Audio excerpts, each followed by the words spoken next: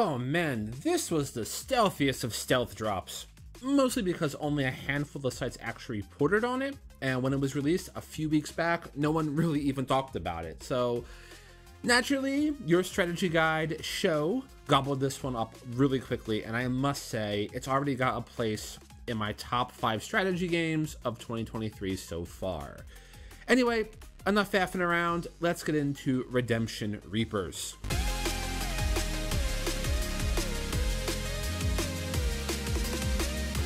Redemption Reapers is the newest strategy release by Binary Haze Interactive.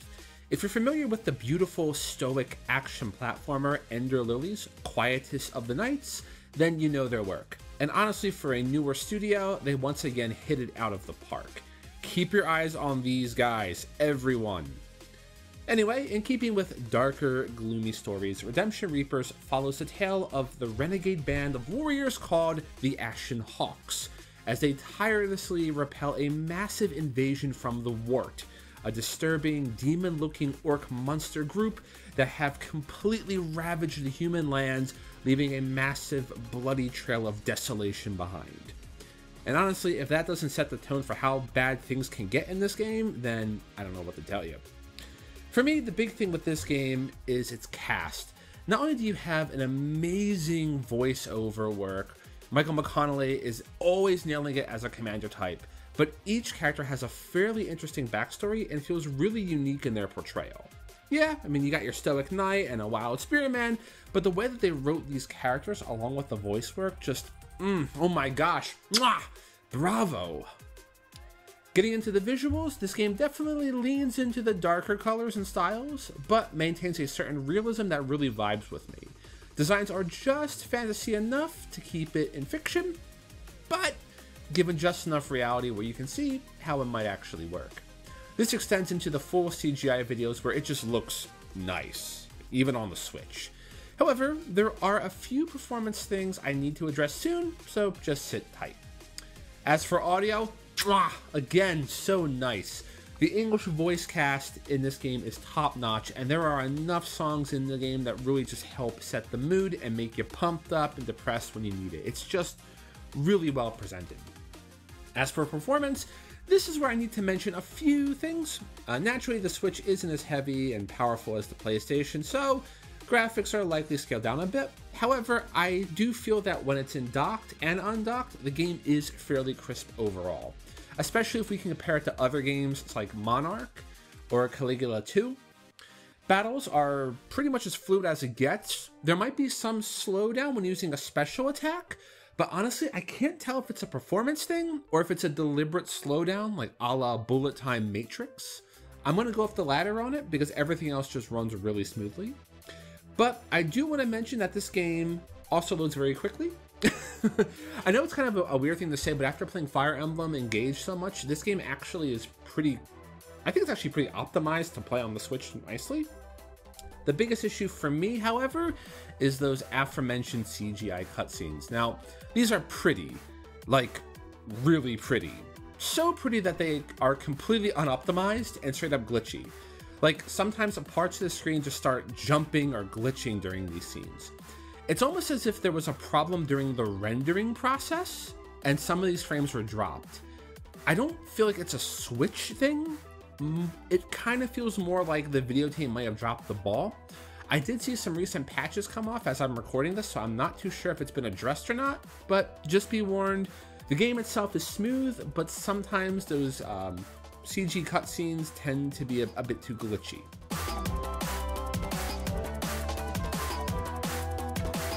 For being one of my favorites so far this year, this game is actually really straightforward. However, it doesn't really tell you much, which is a bit of a no-no.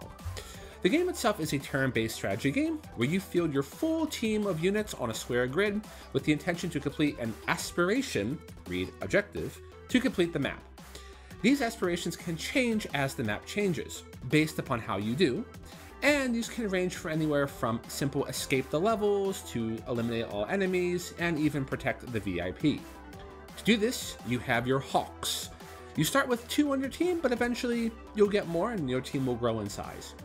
Each Hawk has a sort of hybrid purpose role, and it's up to you to field your full team every time and to use their skills in a very synergistic way to win.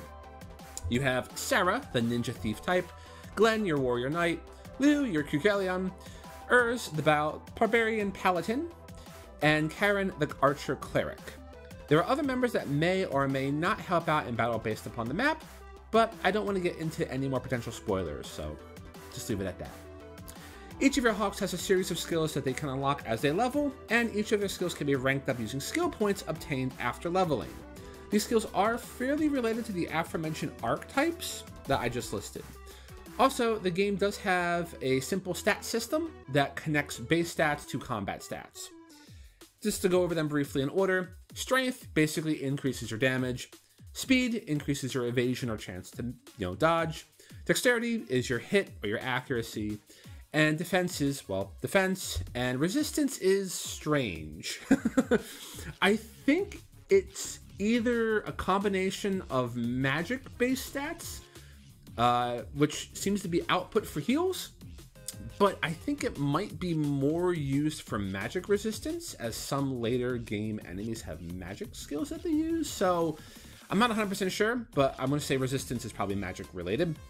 Needless to say, though, based upon the Hawk's previous archetypes, some are better optimized with certain preferences and biases towards stats. For example, Sarah, being a ninja rogue, obviously likes her speed a lot. Therefore, when you use them in battle, please use a lot of caution with your placement and your positions because, um, yeah, it's not too good if uh, Karren goes a little bit too far up and gets smacked with a, a massive axe to the face. In addition, talking about weapons and axes, weapons in Redemption Reapers have durability, and they can break after too much usage. Now, I've tested this quite a bit, and it seems like skills, when using a, a, specific skill, not a base attack, causes a bit more wear and tear. But honestly, if you use any regular attack, a counter attack, a support attack, it will basically impact your durability. Should your weapon break, you can repair it after the battle, and if you breaks in battle and you continue to use it, you basically can keep it equipped, but you don't receive any of the damage or secondary buffs that it can award you. So basically, it's a good idea to have multiple options or multiple weapons in your inventory for your characters, and you always want to make sure that you have more than enough charges to drop in for an attack. As for battles, let's talk about them a little bit more. During battle, all Hawks have an action point gauge that determines the amount of skills, or I should say actions, they can use. This includes defending as well.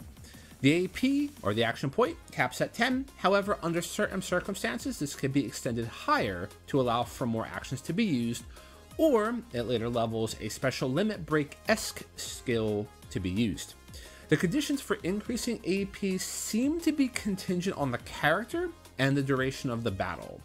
For instance, I've seen Urs get extra AP for blocking attacks like a champ, and Lugh gets some for just knocking out KOs left and right and doing a lot of counters. So just be very mindful of what you have your Hawks do. Again, those archetypes are there for a reason, and to use them synergistically is the main point of this game. It's also important to note that all actions except move and wait use AP. This includes the defense, but you also have one additional action which doesn't use AP, and that is your Draught. Each Hawk gets basically one drop per paddle, and they function like a potion to recover health. You get one, and it's not used as an item, it's used as like a charge special sort of skill. So you can't trade your draught to someone else who's already used it. With that said, though, you can restore draught usage by touching one of the magic seals, which are these little green swirly things in a level. Touching that not only recovers any life you've currently lost, but it also recovers any draughts that you used, which again just refreshes the one you got. Now, um, on that note, on talking about things around maps, let's talk about Redemption Reaper's map construction. Honestly, it's fairly straightforward, but also really original. Um, Size-wise, it's not too big and it's not too small, so you're not going to be spending a whole lot of time per battle, and it's really nice in that regard. You also have to you also have to deal with obstacles such as fences or walls in between, and you do have height restrictions, though it does seem that height really only works from top down, not so much down up. So I know that might seem weird to say, but I do know that some cases there's a lot of games where if you're like at a lower level, you still have the chance to shoot up, but you're kind of limited. In this game, I've only ever seen people shoot down never shoot up in terms of elevation. Finally, maps also have a lot of goodies that you can grab. You have relics, which are basically uh, lore notes and documents that you can pick up. Doing so gets you some background information, but most importantly, it can give you stones, which could be used for upgrading, which I'll get to in a moment. And you have treasure chests, which have items. These can range from anything to new weapons, to accessories, or to more stones and items you can sell to get more cash. So you definitely want to make your time, take your time, get the relics, get the treasure chests. Honestly, it's more important to get those items than to have like a fast clear time. Now, um, just to mention one last thing with battles and maps, positioning matters a lot in this game. Of course, you can check the positions and ranges of enemies by hovering over them and hitting, I think, the A button. However, one point that Redemption Reapers has is there is sort of a automatic slash choosing uh, follow-up attack scenario that you can do.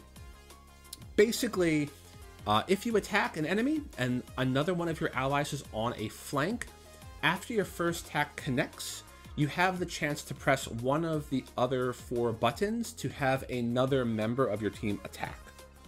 So, positioning matters a lot, as if you want to knock down enemies in a single go, you're likely going to have to move your characters in such a way where they can rely on doing consistent follow up attacks with each other. This applies to every unit as long as they are um, on the flank of an enemy, except Karren, the archer cleric. Karren's is actually locked behind a skill, so you're gonna have to actually use your skill points to unlock her um, her follow up attacks. So just be mindful of the positioning, and you probably want to focus on getting Karren's skill unlocked because it is very, very, very helpful in many missions. Of missions, the game functions in a very linear way, like classic Fire Emblems or Langrisers. Uh, you'll win a mission, and then you'll be taken to a following kind of preparation screen, and then you'll move into the next mission map.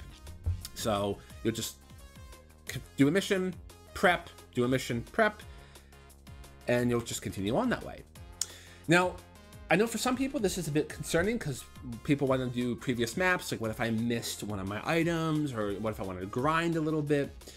I'll get into grinding in the next section, but it is possible to revisit previous maps to pick up missed relics and chests. However, these skirmishes, as what they're referred to as, open up after a certain amount of time. It's not immediately from the get-go. You have to make a, quite a bit of progression to open it up. And as you progress through the story even further, old maps can become locked out. So I highly suggest fully clearing every map the first time you're there. Just A, helps with your resource management. B, if you make it a little bit too far, then you may have the chance to miss out. Don't worry though, the game does give you a, a warning if you're about to transition to the next phase where you might lose map access. Um, and again, these services are able to be accessible through the prep screen.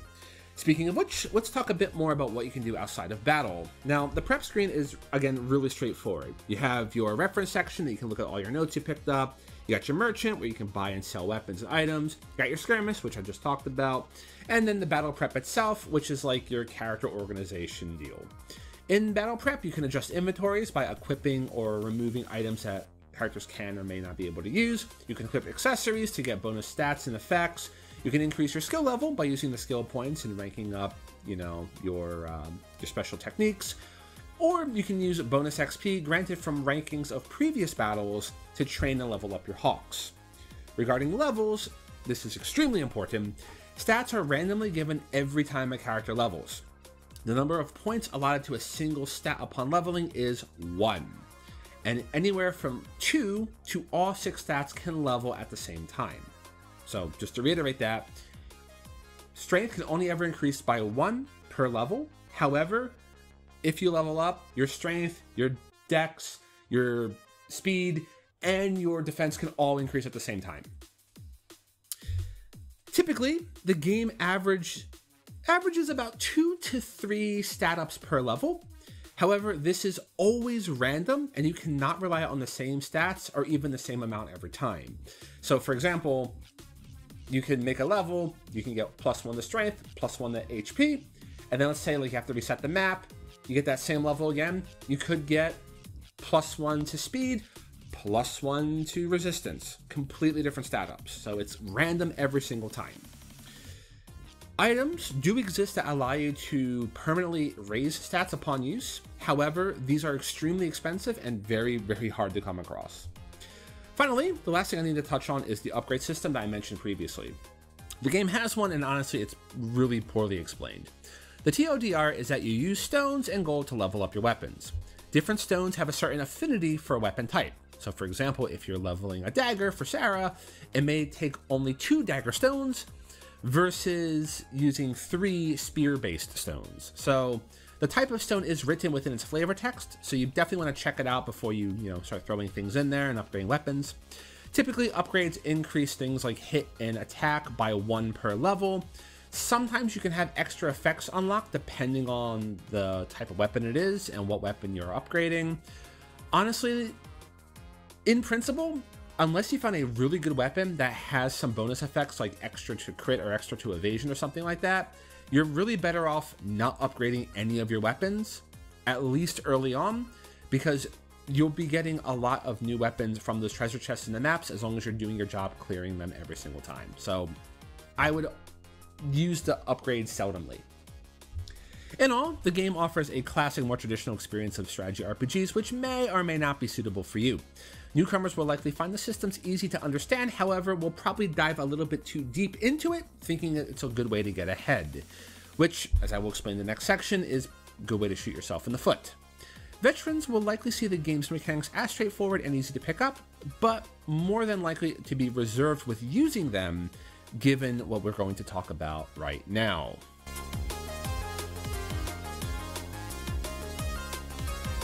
Redemption Reapers has no difficulty modes, and it's important to note that the game in many ways functions like a roguelike. As mentioned earlier, you will clear map after map with no real chance to grind, at least early on, as that first stretch of skirmishes unlocks, I think, around like chapter 10 or so. Um, and you won't really have any good chance to try to get things like extra gold through the grinding. For this reason, without the fact of having grinding, resources are extremely scarce, especially gold. Furthermore, remember that weapons as you use them have durability and can break.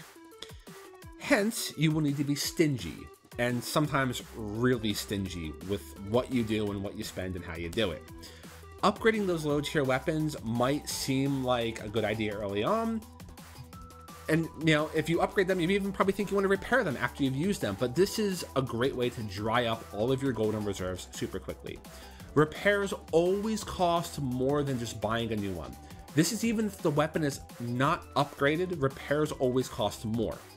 So you need to really weigh your options with resource management. If you find a good set of knives that have like a special bonus to a stat, keep them, maybe upgrade them, maybe go ahead and, and uh, repair them if you need them. But basic things like the, the dirks you get at the beginning of the game or the basic hand axes, if they run out, buy a new one from the merchant. It's going to save you so much money later.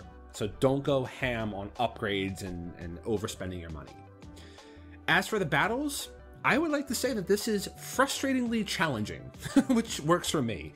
Depending on the map and enemy types, you may continue to get swarmed by waves upon waves of enemies.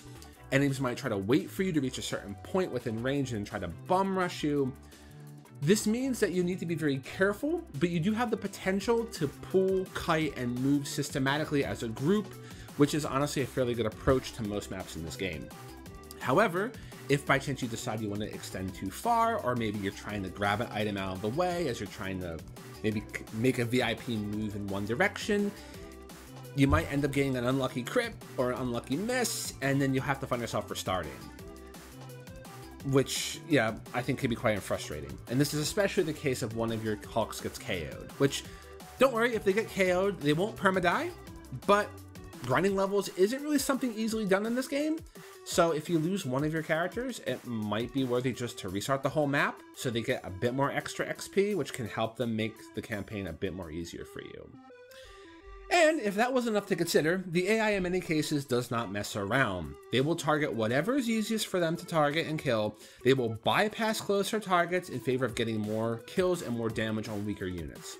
Again, positioning is everything in this game. If you move too far ahead, you gotta you gotta put Urza up, defend, and wait. If you need to move through a big mass of enemies, just try to kite them towards you. Try to pick off as few as you can one at a time because sometimes even if they're moving towards you, waiting would be a good idea just to make sure they get within range and you can bum rush them and then jump to the next one.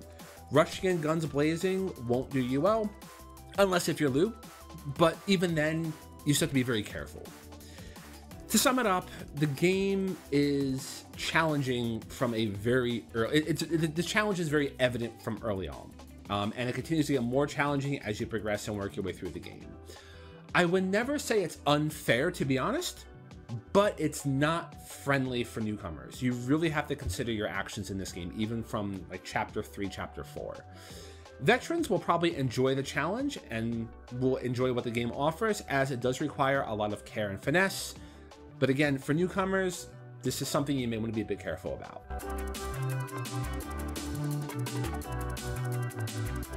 I feel that I've given a fair amount of hints throughout this whole video so far, but in this section I just want to cover two important things. First, with skills. Focus on skills that reduce damage and boost evasion first.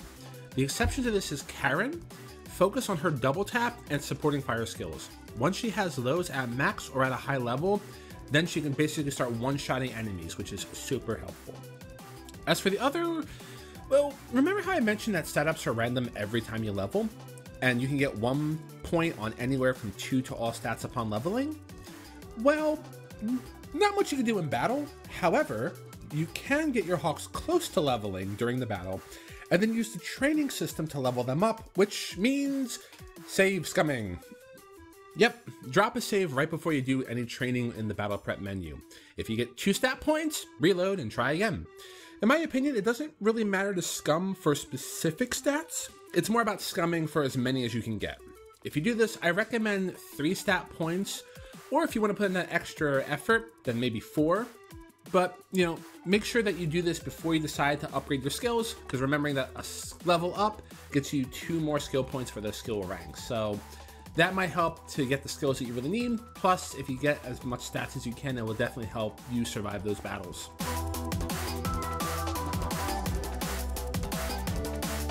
All in all, I am having a great time with Redemption Reapers. It has a charming cast, nice aesthetic, and a really challenging AI, despite all my frustrations, has just given me drive to come back and to get my victory. For newcomers, I can't really recommend this game. Um, I love it, but I can't recommend it, as I do feel it comes in really hard on the deep end, and it's likely going to discourage a lot of players who aren't used to strategy games or just the genre itself. If you're willing to go slow and you're willing to really think it out, good luck. Just good luck. I know you can do it. For veterans, I highly recommend this game on the other hand. It screams old school strategy and it definitely delivers an experience that is just well worth going through and learning. It's just worth it. It's worth playing it if you're a veteran. Play this game. Redemption Reapers is awesome. All right, well, thank you so much for checking out the video. A uh, bit of a long one here, uh, but I wanted to get this one out a little bit quicker before the Fire Emblem stuff came out because this game really needs more love. I don't really think anyone's talking about it, so please let me know in the comments down below your thoughts on Redemption Reapers. Is it something you were looking at, something you're thinking about picking up, or if you've played it, let me know your experiences as well. I'd love to hear what you all have to say about it. With that said, this is Show, and I will catch you in the next video. Cheers!